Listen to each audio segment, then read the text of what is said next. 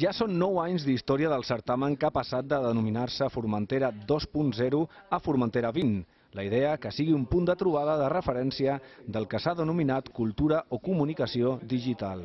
Ja ho veieu, quin, quin ambient que hi ha, amb gent molt entusiasta, ganes de compartir, de compartir idees, de participar.